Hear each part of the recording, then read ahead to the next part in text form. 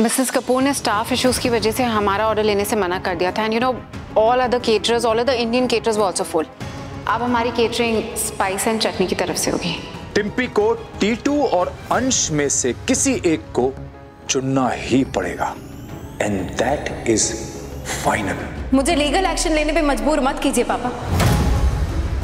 क्योंकि अंश मेरा बेटा है और सबसे ज़्यादा उस पे मेरा हक है। ये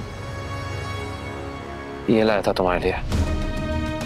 थैंक यू वैसे मैं ये शो के बारे में पहले जानता नहीं था लेकिन अब मैं देखूँगा। आपको अपना सारा ध्यान अपनी शादी में लगाना चाहिए।